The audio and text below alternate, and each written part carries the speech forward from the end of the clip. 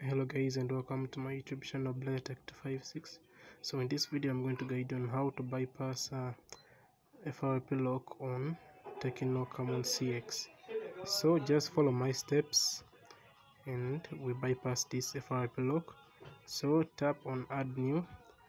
And note that you should download a quick shortcut maker on your second phone. So you uh, you tap on the emoji right here tap on it then click on the hot emoji. Then after that hold right here then click share then tap on Xender then grab your second phone. Um, okay. Allow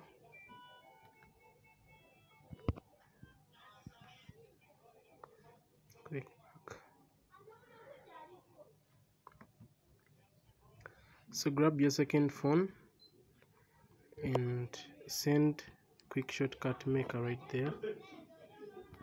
And send quick shortcut maker. So first receive and open.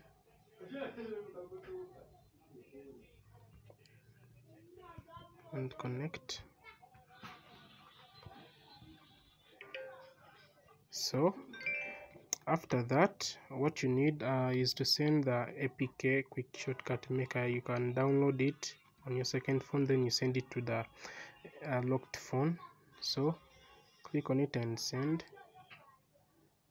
So it will be received here.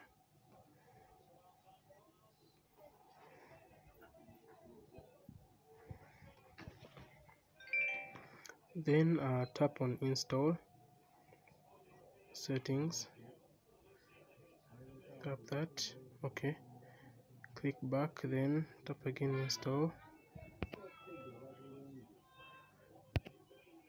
Tap open. Then you have to look for obey.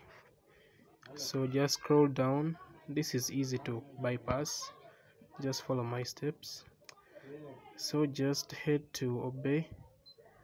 Right here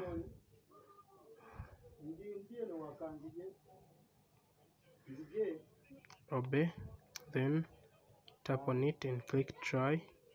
Then select any country. So I'll select my country to 256 Uganda. Then click yes.